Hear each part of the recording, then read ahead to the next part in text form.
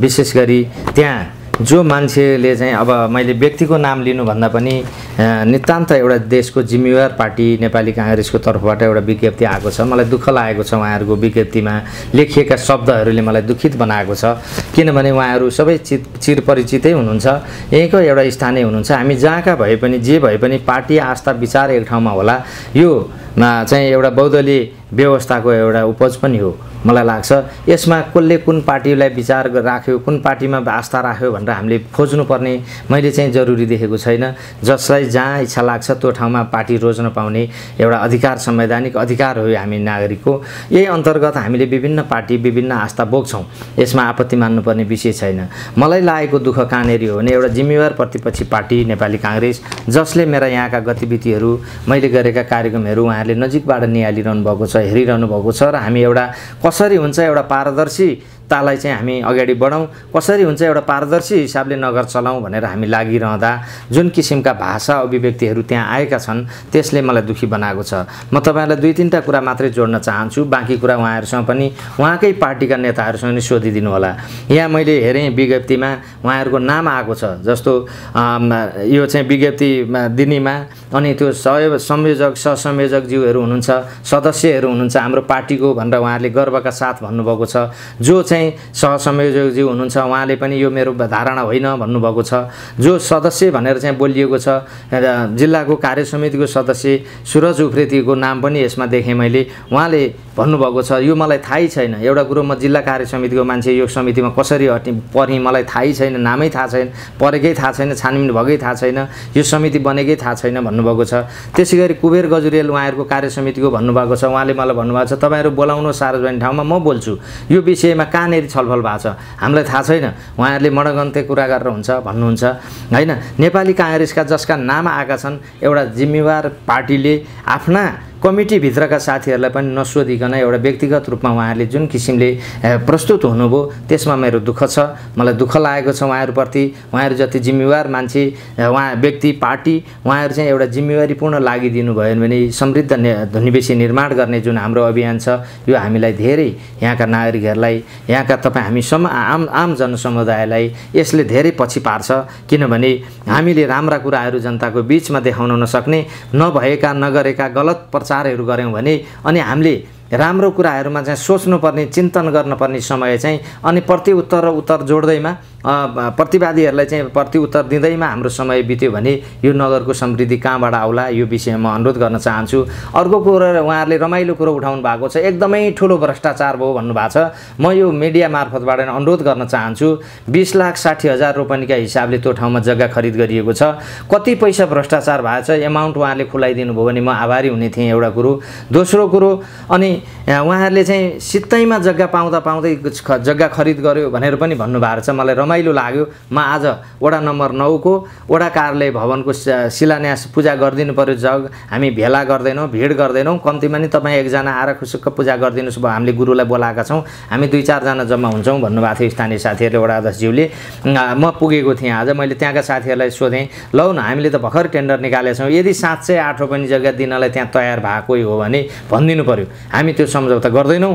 हामी त्यो ठाउँमा ज भवन बनाउँछौँ भनेर बिहान मैले धेरै मान्छेहरू जुगेडीमा खोजेँ त्यहाँ धेरैलाई सोध्न लगाएँ तर मैले पाइनँ। उहाँहरूको विज्ञप्तिमा आउनु पर्थ्यो यदि साँच्चै हो भने मैले दिन चाहेको थिएँ आठ रोपनी जग्गा फोगट्या किन किनिस् भनेर उहाँहरूले भन्न लगाइदिनुहोस्। कुन हो उहाँको पार्टीको कार्यकर्ता हो कि उहाँहरूको नेताले दिन लाएको कि उहाँहरू आफैले पो खरिद गरेर दिन लानु भएको थियो कि त्यो कुराहरू खोलिदिए हुन्थ्यो। म अनुरोध गर्न चाहन्छु अर्को अर्को मैले त्यसमा हेरेँ यो मछिन्द्रा वन मछिन्द्रा वनमा लिएर गएर वनको छेउमा ह्याचरीलाई फाइदा हुने गरी वनमा फाइदा हुने गरी भनेर चाहिँ उहाँहरूले उल्लेख गर्नुभएको छ। मछिन्द्रा वन वडा नम्बर आठमा पर्छ जुन खोल्साभन्दा धेरै पारी खेत छ। त्यो खेतभन्दा पनि धेरै माथि जङ्गल छ। एउटा दृश्य अवलोकनको हिसाबले चाहिँ त्यो वन देखिन सक्छ भवन बन्ने ठाउँबाट। कहीँ जोडिएको छैन।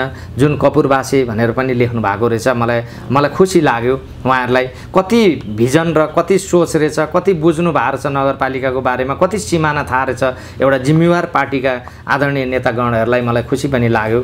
किनभने कपुरबासे भनेको खोल्साको नाम कुन खोल्चो हो हामीले लिएको जग्गा कुन जग्गा हो भनेर पनि उहाँले थाहा पाउन सक्नुभएको छ एउटै उहाँहरूले जोड्नु भएको छ। उहाँहरूलाई साँच्चै उहाँहरूले पत् भएकै एउटा सत्य कुरा चाहिँ के लेख्नु भएको छ भने त्यो सय मिटर हुनुपर्नेमा चार सय के सय मिटर हुनुपर्ने ठाँ एक सय मिटर हुनुपर्ने ठाँ चार सय मिटर ग्याप हो भन्नुभएको छ।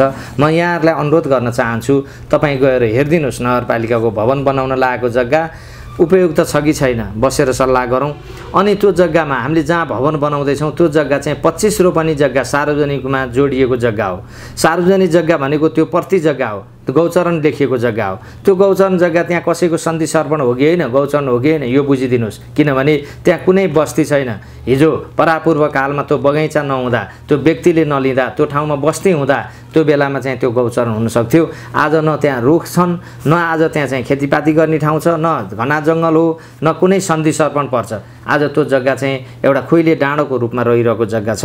त्यसलाई हामीले नगरपालिकाले भवन बनाउने भनेर हामी एक वर्षसम्म प्रक्रिया अघि बढाएर सार्वजनिक जग्गामै बनाउने त्यही जग्गामा बनाउने भनेर हामीले मन्त्रालयसम्म का केन्द्रसम्म पुगेर क्याबिनेटबाट पनि त्यो फाइल फिर्ता भएर आइसकेपछि बल्ल हामी जग्गा खरिद प्रक्रियामा गएका हौँ। त्यो पनि पहिला हामीले कसैले सा दान सहयोग गर्नुहुन्छ भने गर्नुहोस् भनेर पन्ध्र दिने सूचना पनि दिएका थियौँ। त्यसबाट पनि नपाइसकेपछि हामी खरिदको प्रक्रियामा गएर खरिद गरेका हौँ। अब यति प्रक्रिया पुर्याएर हामीले लिँदा लिँदै त्यो मूल्यमा त्यहाँ जग्गा लिँदा लिँदै पनि यो खालको आरोप र गतिविधि लाउनु भएको छ। म अनुरोध गर्न चाहन्छु आदरणीय जनसमुदाय दाजुभाइ दिदीबहिनीहरूलाई यसको उत्तर अब मैले होइन तपाईँहरूले दिनुपर्छ। यदि मैले गल्ती गरेको छु भने पनि तपाईँहरूले मलाई भन्नुपर्छ। म करेक्सन हुन चाह करेक्ट करेक्सन हुन चाहन्छु। म तयार छु। यदि मैले अनावश्यक रूपमा मैले जनताको हितमा काम गर्दा गर्दै राम्रो काम गर्दा गर्दै मैले एउटा नगरपालिकाको स्थायी भवन बनाएर छोडेर जाने इच्छा गर्दा गर्दै अब यसमा चाहिँ यस्ता गलत आरोपहरू मैले खेपिरहँदा चाहिँ मैले मेरो स्पिड कति रहला मैले गर्ने राम्रा काम कति होला मैले आँट मेरो आँट कति बढ्ला मैले कसरी चाहिँ यसलाई चाहिँ अघि लान सकौँला यो विषयमा चाहिँ आदरणीय जनसमुदायहरूले आदरणीय चाहिँ सबै पार्टीका म एउटा पार्टीको भन्दिनँ साँच्चै देश र जनताको लागि केही सामाजिक काम गऱ्यौँ भनेर हिँड्ने यदि साँच्चै अभियन्ता हुनुहुन्छ साँच्चै समाजको लागि पार्टीमा लाग्नु भएको छ अगुवाई गर्नु भएको छ भने अब तपाईँहरूले बोल्नुपर्छ तपाईँहरूले हेर्नुपर्छ तपाईँहरूले जान्नुपर्छ तपाईँहरूले चिन्नुपर्छ।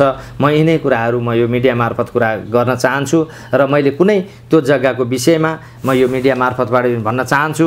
यो कुनै पनि विषयमा कसैले कोही व्यक्तिले केही पाएन होला त्यो एउटा दुःखको कुरा होला उहाँहरूको लागि। तर म खुसी छु किनभने जग्गा खरिद बिक्री गर्दा पैसा कमाउने चलन रहेछ यहाँ। त्यो नपाएको कारणले उहाँहरूले हामीलाई चाहिँ त्यो शङ्काको घेरामा राख्नु राख्नुभयो होला। त्यो उहाँहरूको दृष्टिभ्रम हो। यो दृष्टिभ्रमबाट तपाईँहरू पछि हटिदिनुहोस्। हामी त्यसरी जग्गा नगरपालिकाको स्थानीय सरकारको भवन बनाउने कुरोमा यो हामीले यसैमा गर्व गर्छौँ। हामीलाई त्यो पैसा चाहिँदैन। त्यो पैसाभन्दा माथि हाम्रो एउटा इज्जत छ। हामी एउटा सम्मानका साथ नगरपालिकाको स्थानीय सरकारको भवन बनाएर जिम्मा लगाएर जनतालाई जिम्मा लगाएर जाने हाम्रो इच्छा भएको हुनाले हामीले यो काम गरेका हौँ। म यिनै कुराहरू यहाँहरूको बिचमा राख्दै आदरणीय प्रतिपक्षी दलका नेताज्यूहरूलाई म अनुरोध गर्न चाहन्छु तपाईँहरू जस्तो जिम्मेवारीले आफ्नो जिम्मेवारी वहन गरिदिनुहोस् भ्रममा नपरिदिनुहोस् र जनतालाई भ्रम नपारिदिनुहोस्। यदि म मबाट कुनै नराम्रा काम भएका छन् यदि मबाट राम्रा काम गर्न छुटेका छन् भने यो मलाई देखाइदिनुहोस्। म नराम्रा काम गर्न बा नगलत बाटोतिर जान लागेको छु भने म रोकिन तयार छु। र तपाईँहरूले दिएका उचित राम्रा सल्लाह र सुझावलाई म कदर गर्दै म प्रतिपक्षीको आवाज नसुन्ने म एकरो एक पक्षीय ढङ्गले अघि बढ्ने प्रतिनिधि नभएको कुराहरू म यहाँहरूलाई अनुरोध गर्दै म सबैको भावनालाई समेटेर यो समृद्ध नगर निर्माण गर्नको लागि चाहिँ अघि बढ्न चाहन्छु। म यिनै कुराहरू यहाँहरूको बिचमा राख्न चाहन्छु। हस् धन्यवाद।